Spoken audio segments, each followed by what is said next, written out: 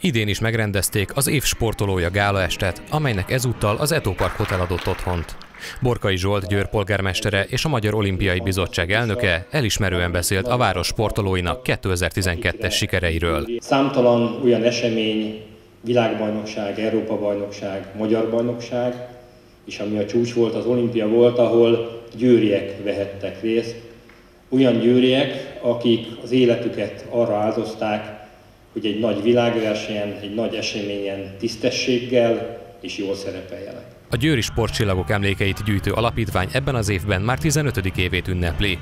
Pálfalvi Gábor, a kuratórium alapító tagja elégedetten beszélt az alapítvány mögött álló másfél évtizedről. Sikerült eljutnunk oda, hogy visszatérő sportbarátaink, vendégeink vannak, csak körül kell nézni, hogy hány olyan győri sportember van itt, egykori olimpiai ezüstérmes, olimpiai bajnok, sportvezetők, szakvezetők, akik talán évek óta nem találkoztak, nem látták egymást, viszont ez egy nagyszerű alkalom a díjátadáson túl arra is, hogy ezek az emberek találkozzanak. Az alapítvány életműdíjat is átad azoknak a győri sportembereknek, akik társadalmi munkájukkal fáradoztak egy-egy sportos ügyért.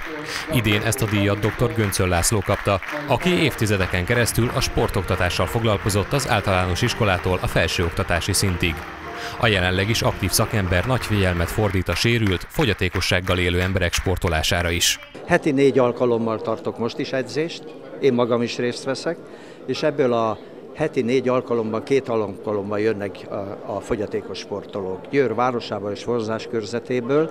Ebben van kisgyerek, van középkorú, van időskorú, vannak súlyos sérültek, mozgásszervi belgyógyászati és mentális sérültek, ez is hosszú lenne ezt elmondani a lehetőséget biztosít az egyetem főiskola karának a vezetése. Az életműdíj egyébként nem egy idős az évsportolója gálával, hiszen 1999 óta adják át az azt kiérdemlőknek.